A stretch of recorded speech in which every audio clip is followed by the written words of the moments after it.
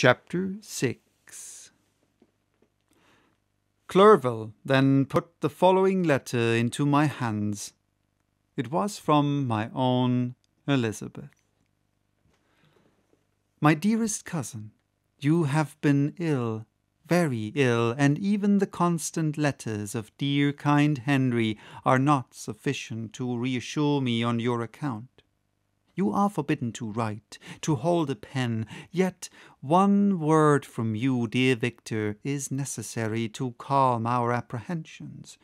For a long time I have thought that each post would bring this line, and my persuasions have restrained my uncle from undertaking a journey to Ingolstadt. I have prevented his encountering the inconveniences and perhaps dangers of so long a journey, yet how often have I regretted not being able to perform it myself. I figure to myself that the task of attending on your sick bed has devolved on some mercenary old nurse who could never guess your wishes nor minister to them with the care and affection of your poor cousin. Yet that is now over. Clerval writes that you indeed are getting better. I eagerly hope that you will confirm this intelligence soon in your own handwriting. Get well and return to us. You will find a happy, cheerful home and friends who love you dearly. Your father's health is vigorous, and he asks but to see you, but to be assured that you are well, and not a care will ever cloud his benevolent countenance.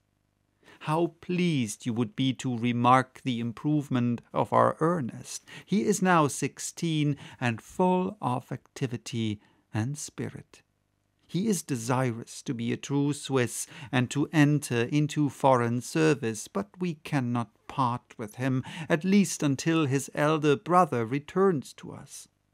My uncle is not pleased with the idea of a military career in a distant country, but Ernest never had your powers of application. He looks upon study as an odious fetter, his time is spent in the open air, climbing the hills or rowing on the lake. I fear that he will become an idler unless we yield the point and permit him to enter on the profession which he has selected. Little alteration, except the growth of our dear children, has taken place since you left us. The blue lake and snow clad mountains they never change, and I think our placid home and our contented hearts are regulated by the same immutable laws. My trifling occupations have taken up my time and amuse me, and I am rewarded for any exertions by seeing none but happy, kind faces around me. Since you left us, but one change has taken place in our little household. Do you remember on what occasion Justine Moritz entered our family? Probably you do not. I will relate her history, therefore, in a few words. Madame Moritz, her mother, was a widow with four children, of whom Justine was the third. This girl had always been the favorite of her father, but through a strange perversity, her mother could not endure her, and after the death of Monsieur Moritz, treated her very ill. My aunt observed this, and when Justine was twelve years of age, prevailed on her mother to allow her to live at our house. The republican institutions of our country have produced simpler and happier manners than those which prevail in the great monarchies that surround it. Hence, there is less distinction between the several classes of its inhabitants, and the lower orders, being neither so poor nor so despised, their manners are more refined and moral. A servant in Geneva does not mean the same thing as a servant in France and England. Justine thus received in our family learned the duties of a servant, a condition which, in our fortunate country, does not include the idea of ignorance and a sacrifice of the dignity of a human being. Justine, you may remember, was a great favourite of yours and I recollect you once remarked that if you were in an ill humour, one glance from Justine could dissipate it. For the same reason that Ariosto gives concerning the beauty of Angelica, she looked so frank hearted and happy.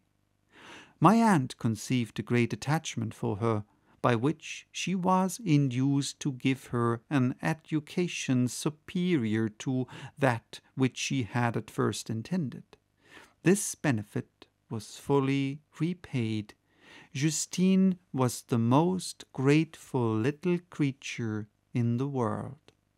I do not mean that she made any professions, I never heard one pass her lips, but you could see by her eyes that she almost adored her protectress.